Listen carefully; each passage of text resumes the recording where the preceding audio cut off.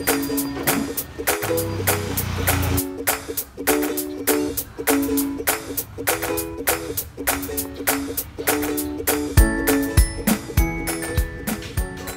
magnificent beings. So, what did I want to say today on this little vlog from Bali as I travel around? What was very present yesterday for me was this sense of self-love, right?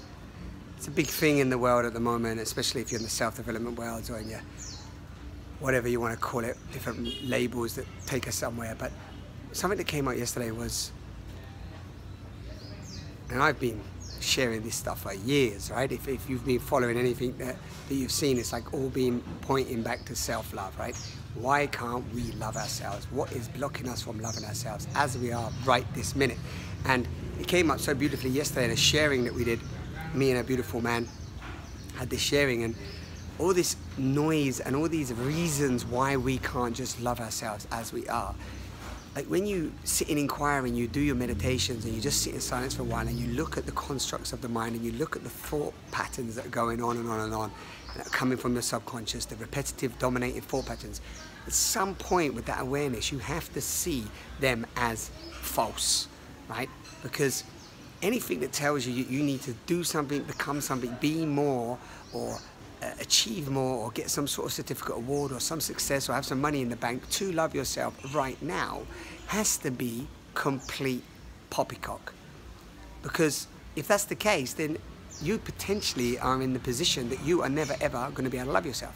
Because if you think, I can't love myself because I need to lose weight, or I can't love myself because I've got crooked teeth, or I can't love myself because I've got no, no toenails, right?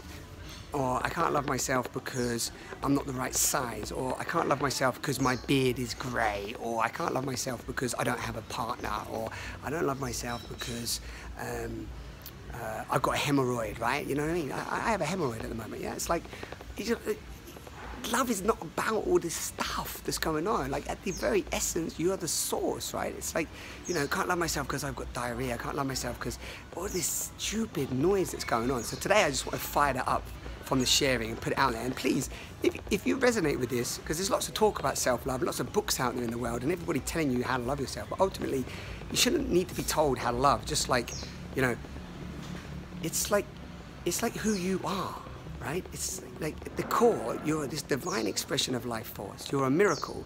You don't even know what you are. You can't describe yourself. There's so much going on in your heart, the, the, the blood that's pumping around your body, everything that's happening before you, you did not actually do yourself.